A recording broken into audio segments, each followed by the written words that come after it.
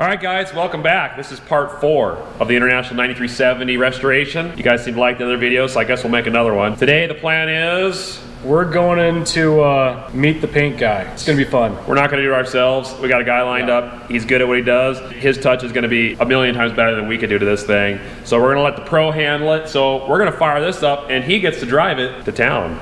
So hang tight, enjoy the ride. Let's get on the road. We're good.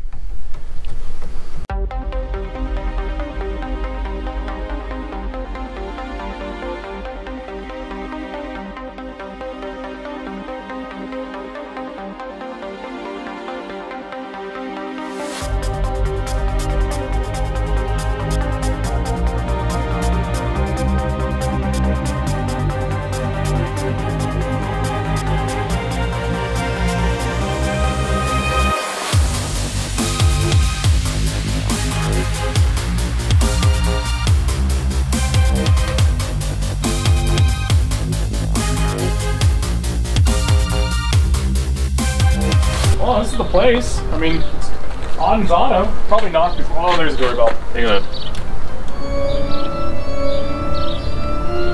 Weird. Um, Ian? Buddy! Hello!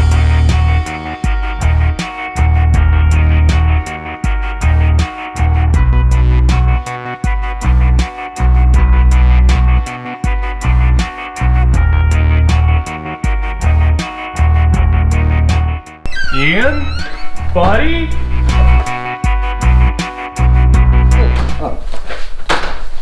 Hey guys, you ready to ready to do this?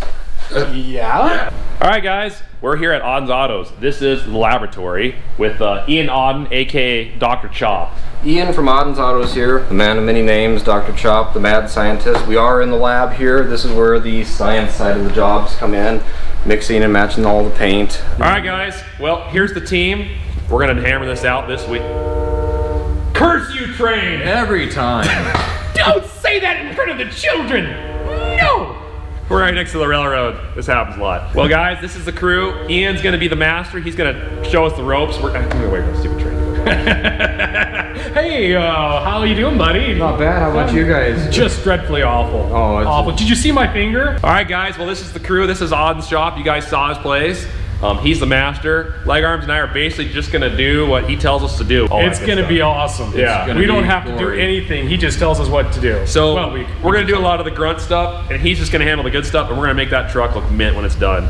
And I just really thank Ian for his for his services. This is an you. awesome, awesome Seriously, deal here. So, Appreciate you. anyways, guys, let's get to this. We got stuff to do.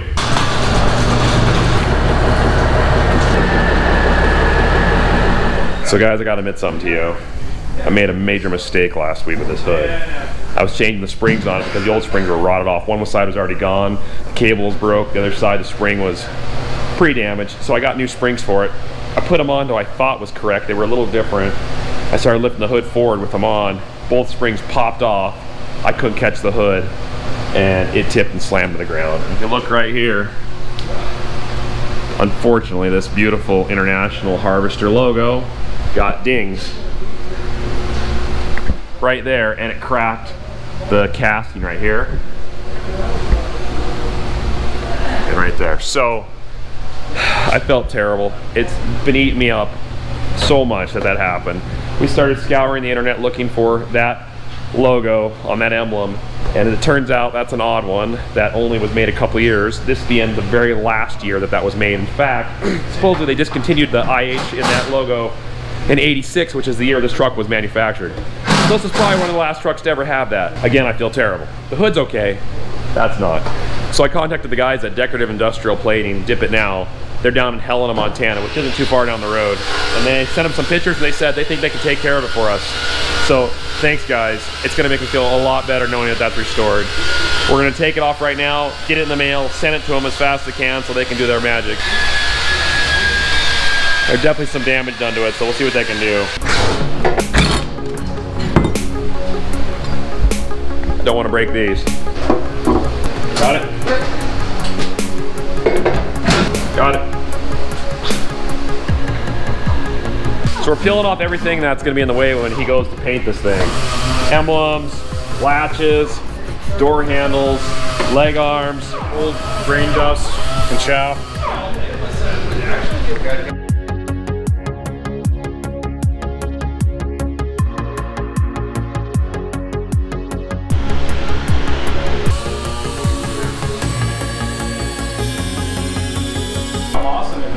Moss in it? Yeah, that one has moss growing in behind the lens.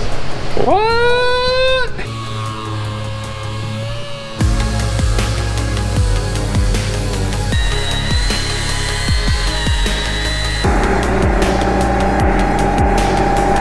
So Ian spotted scarring going on in our fender wells here. And I guess that's when the rocks fling off the rubber, hit the fender well, and create little micro cracks into the, the gel coating on the outside. So he's got to take it down to the fiberglass and start from the ground up get rid of that. Otherwise, it'll show in the final paint job. Fortunately, that's something Ian noticed because if we were doing this paint job, we wouldn't have caught that. We would have just painted it and he would have seen that. That's why you have these guys do it. I can't let leg arms wear all the cool shirts. Step it up a little bit.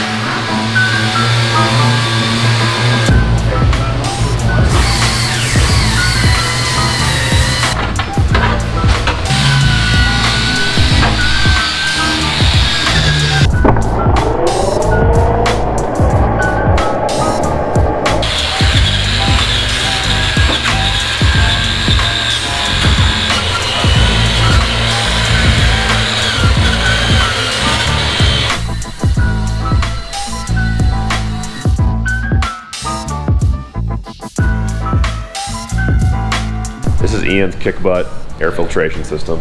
And it's awesome.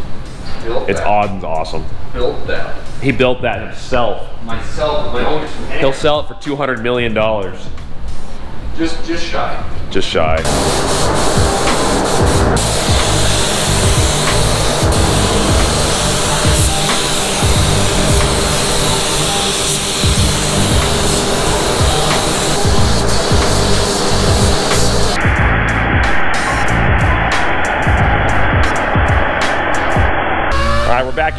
Day.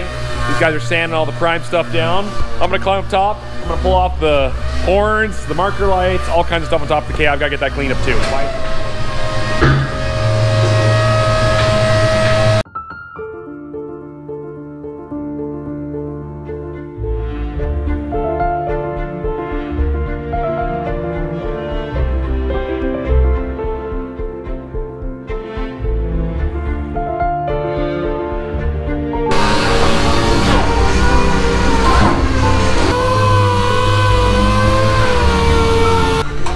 We looked at this truck earlier, we noticed the horn bracket had a bunch of goop around it. Figured it was probably leaking water in there. When we looked closer to get ready to paint, uh, you can see here. It's all broke out. So the guys were looking at finding a way to put a piece of aluminum underneath there, possibly weld it or rivet it, sandwich something tight. I decided the monkey was a little over the top, so uh, we're back to this shirt.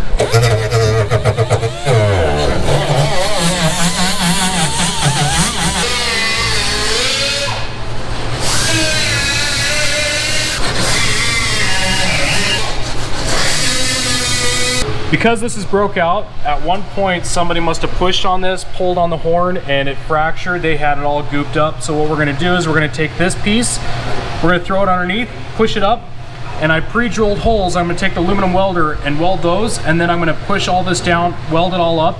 Then we'll come around, grind it all up, put Bondo or whatever fill, filler we want, smooth it all out, and then that way this plate here will support the bracket for the horn and you won't have the fracture moments.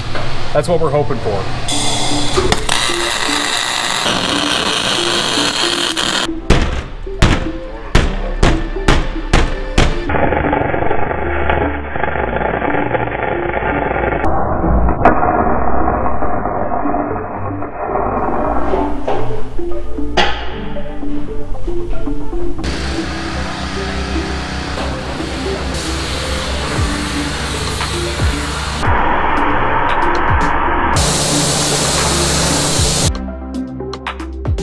While the truck's drying, we're gonna polish some aluminum.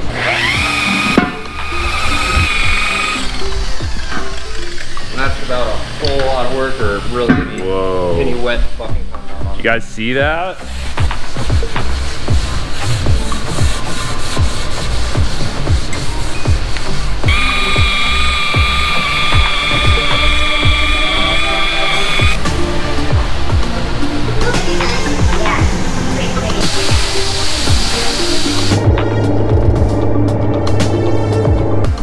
This tank right here is getting somewhere, thanks to Dr. Uh, Chop and Leg Arms.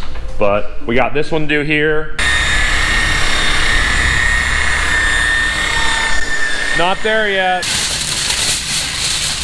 Like. So basically what's going on here, guys, is the top of this hood was originally just one paint scheme, but according to Dr. Chop here, it's got the setup here for an SS Chevelle. As you can see these uh, kind of hood scoops on here, it's raised. So uh, he had the bright idea of, let's put some paint on top of that and make that look good. Kind of our own special touch. custom. Yeah. So, so Dr. Chop's gonna do his magic, and we're just trying to figure out exactly do we want to do orange on the top, or dark brown on the top, or orange around the sides. You just start a bowl.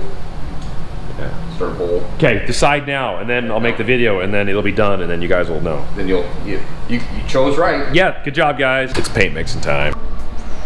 LA. 1201. I'm gonna put 587.9 grams. Not a drop more. Careful.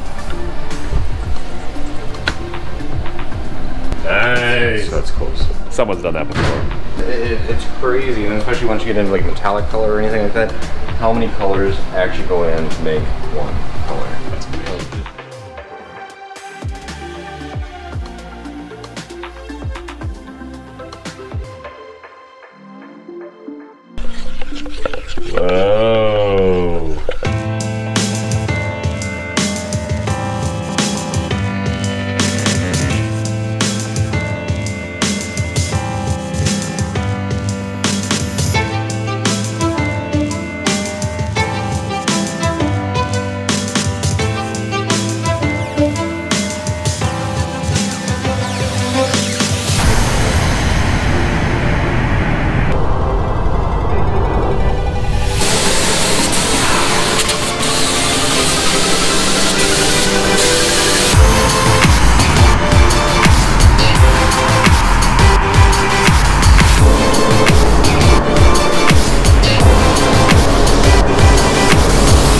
That's of the first coat. He's to do it probably two more on here. Uh, I guess it's uh, part of the procedure is do do about three.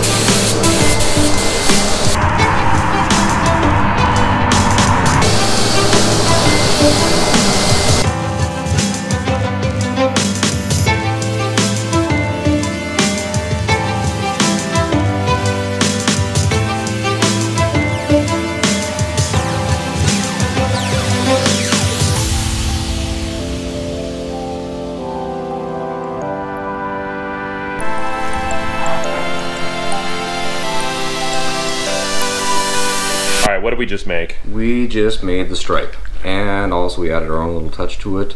Should we tell them? Uh, we can wait till later. Until later. Yeah. Yeah. We put pearl in it. Oh, we put you pearl in it.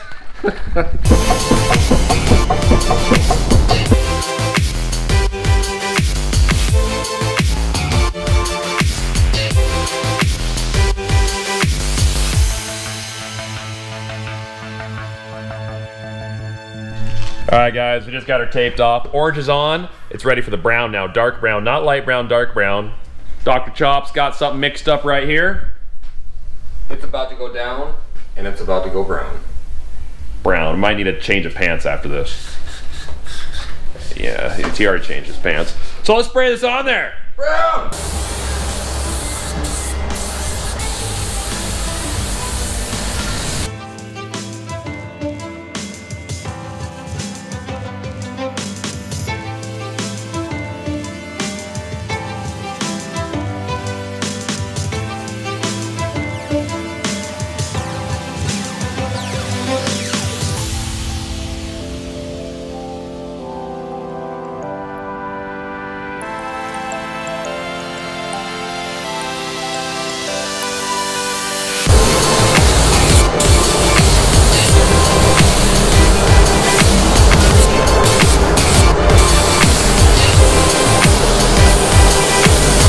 Okay, there's light at the end of the tunnel. We are on the third color now, fourth color. We're just going down the wrong tunnel is all. it's the wrong tunnel.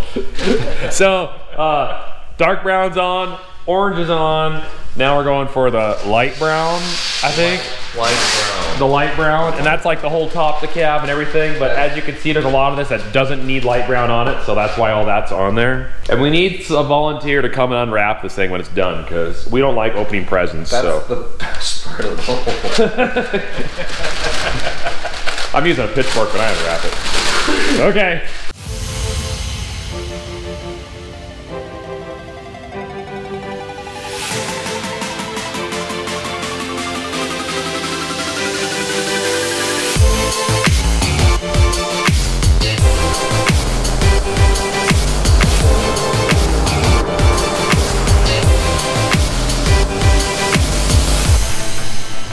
It's officially time. We're gonna find out whether we pay Ian or not. So, anyway, let's let's, let's unwrap this thing and see what it looks I like. got a couple gallons of paint stripper in the back. But You wouldn't. What is what is he doing right there?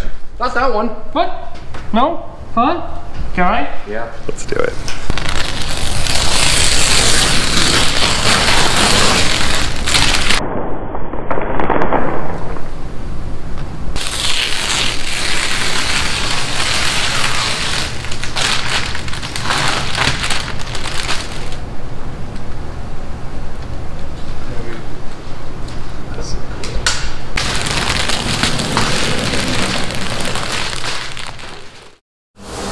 The paint is done. Now he's putting the clear coat on. This will help guarantee the integrity of the paint, as well as keep UV protection on the truck. It's looking pretty good. Once this is done, let's walk around this thing.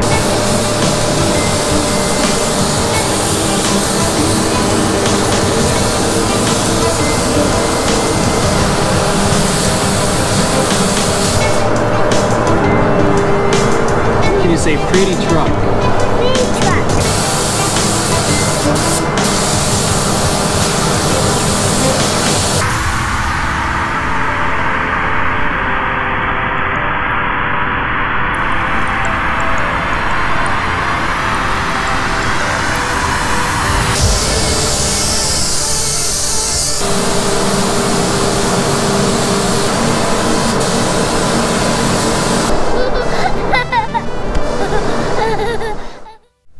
Guys, are you ready?